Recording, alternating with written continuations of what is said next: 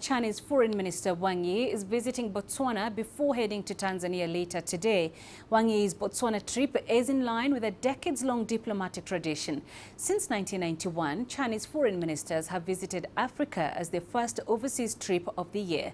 Mphoeng Mphoeng, an economist and trade and investment analyst based in Gaborone, brings us more on what this visit means for Botswana. When you consider that Botswana and China um, have had a relationship for 46 years now. Actually, today is the is the anniversary of when the relations between Botswana and China started 46 years ago in 1975.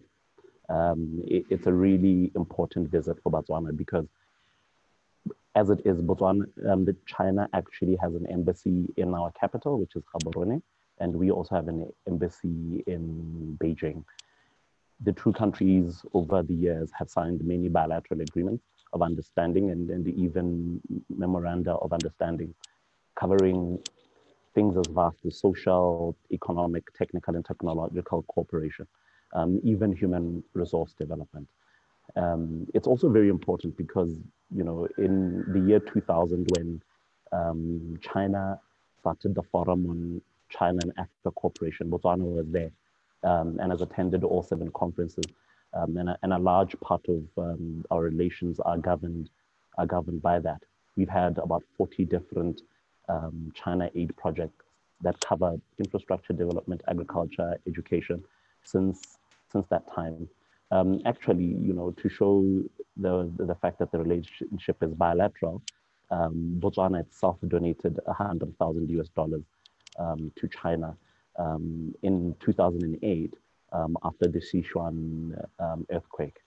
Since 2018, we've had, um, as I said, the, the president of Botswana was in Beijing and he appealed for more relations between Botswana and China. And we've seen a lot of that um, bear fruit in the, in the, in the past two years. Um, speaking of COVID, we, you know, as soon as, you know, the first um, sets of test kits and PPEs that Botswana had were, were, were, donated um, from were donated from China, and we've been seeing that happen. We've also seen um, uh, we've seen medical personnel that came in um, to come and um, assist in Botswana's efforts um, against uh, COVID, who are coming in from China. Now, what we've what we've also seen, though, which has been interesting, is we've also seen outside of the COVID relief, we've seen um, a lot more um, aid money come to Botswana. Um, just in the December, um, the Embassy of China um, was, um, was, was, was, was launching some light, street lighting, which they had donated to a village in Botswana. And we've seen two primary schools as well being built in, in, in Botswana in the past few years. so it, the, the, so the visit is definitely very significant um, as the two countries um, find a way to grow um, their relationship since there are so many opportunities um, and ways that um, the two countries can work together.